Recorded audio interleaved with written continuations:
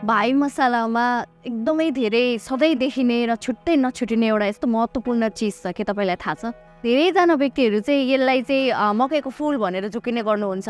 यसलाई चाहिँ मखान वा मखाना भन्ने गरिन्छ अङ्ग्रेजीमा यसलाई फक्सन भन्ने गरिन्छ। यो भाइ मसालामा मात्र होइन अरू बेलामा पनि सधैँ कन्ज्युम गर्नको लागि वा सधैँ खानको लागि भनेर चाहिँ हामी पोषणविदहरू वा इन जेनरल म आफै पनि पोषणविद भएको नाताले रेकमेन्ड गर्छु। यो मखानालाई वा फक्स नट यो चाहिँ वेटल्यान्डमा हुने एउटा बाली हो नगदे बाली हो। अब यसलाई चाहिँ के गर्छ भन्दाखेरि यो नेचुरली नै प्रोटिन रिच फुड प्रडक्ट वा खाद्य पदार्थ हो। साथसाथै यसमा मिनरल्सहरू जस्तो आइरन फस्फरस म्याङ्गनिज पोट्यासियम यो सबै पाइने गरिन्छ।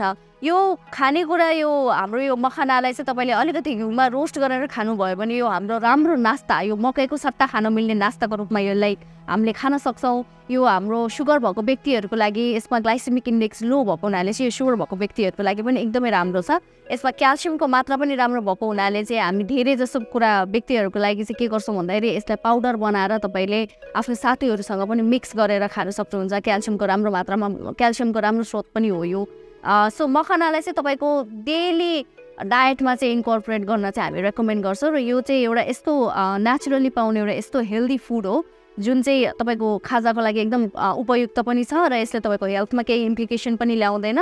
र यसलाई तपाईँले एकदम धेरैवटा यसलाई पाउडर बनाएर खानुहुन्छ कि रोस्ट गरेर घिउमा थोरै रोस्ट गरेर खानुहुन्छ कि यतिकै खिर बनाएर खानुहुन्छ कि यसलाई अलिकति घिउमा रोस्ट गरेर मसला हालेर खानुहुन्छ। धेरै किसिमले खान पनि सकिन्छ र धेरै किसिमले यसलाई इन्जोय गरेर आफ्नो हेल्थमा चाहिँ कुनै इम्प्लिकेसन नराखिकन यसलाई इन्जोय गर्न पनि सकिन्छ।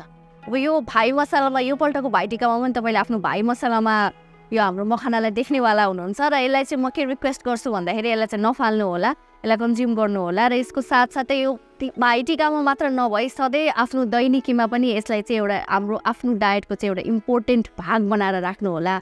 यो चाहिँ यदि तपाईँलाई भाइटिका बाहेक भाइ मसलमा पाउनु बाहेक पनि अरू बेलामा आफ्नो खानामा इन्क्लुड गर्नु मन छ र लिन मन छ भने चाहिँ मिठाहारा र जुस एन्ड फ्रुट्समा चाहिँ तपाईँले हाम्रो आफ्नै मटिहानीबाट लिएर आएको मखानाहरू पाउन सक्नुहुन्छ। हजुरले हामीसँग अर्डर पनि गर्न सक्नुहुन्छ। मखानालाई अरू पनि यो भाइटिकामा मात्र नभए अरू चाडबाडमा र दैनिकीमा पनि आफ्नो इन्क्लुड गर्नुहोस् भन्दै म भाइटिका र छठको शुभकामना दिन चाहन्छु।